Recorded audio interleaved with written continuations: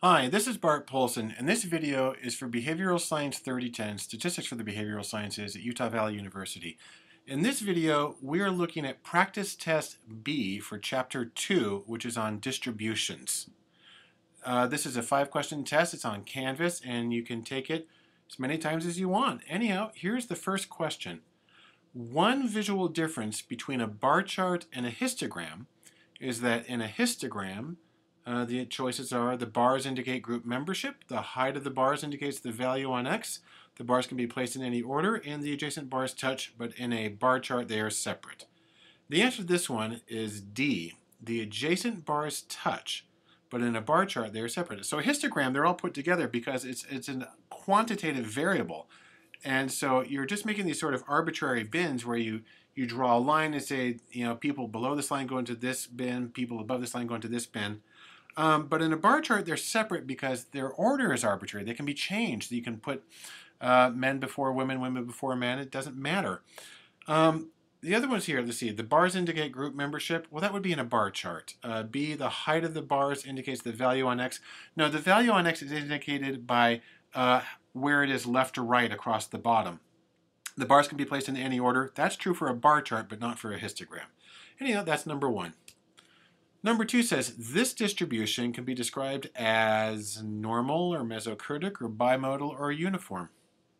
Well, the answer to this one is bimodal. Bimodal means two modes, by two modes, and modes are frequently occurring scores, or in a histogram like this, they're the peaks or the humps on the on the uh, histogram. And this one has two. It's uh, it's not normal because that means a bell curve, which has only one uh, mode. It's, a bell curve is unimodal. That's normal. Mesokurtic is also a, a, descriptive term for a bell curve and has to do with uh, how broad the top is relative to the other things. And uniform is totally flat across the top. So none of those are true. This one is bimodal because it has two modes or two most frequently occurring scores. Number three, which of the following distributions is leptokurtic? That's our little vocabulary word.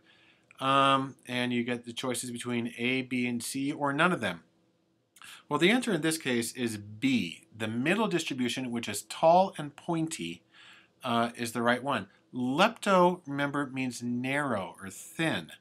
Um, and lepto and kurtic means bulge, so a narrow or thin bulge. And that's what we have here with B.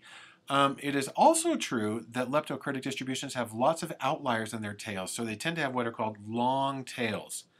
Um, the one on the left, uh, A, is mesokurtic or middle bulge, and that's a normal distribution. The one on the right, uh, option C, is platykurtic, which like a platypus tail, and it's flat, uh, flat bulge. Anyhow, so the answer for this one is B is leptokurtic.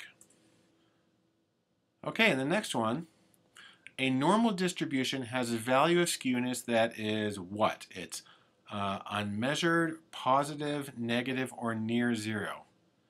Well, if it's a normal distribution, which means a bell curve, which means it's unimodal and it's symmetrical, then the answer is near zero. Um, it's only going to be absolutely zero for a mathematically defined curve. Uh, for any real distribution, it's going to be a number that is close to zero. Um, if it were if we had outliers on the far right, it would be positive skew. If we had outliers on the far left, it would be negative skew. Uh, unmeasured, no, you can you can measure uh, skewness for nearly every distribution. There are some bizarre exceptions, but um, anyhow, a normal distribution has skewness that's near zero.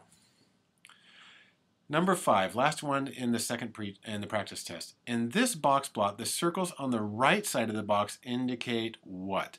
Uncertain values, missing data, outliers, or the only measured data points?